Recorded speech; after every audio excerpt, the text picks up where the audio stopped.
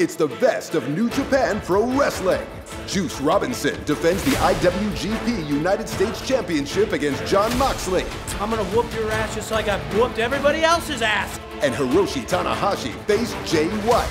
Witness the unparalleled pageantry and the hard-hitting action that is uniquely NJPW. The best of New Japan Pro Wrestling.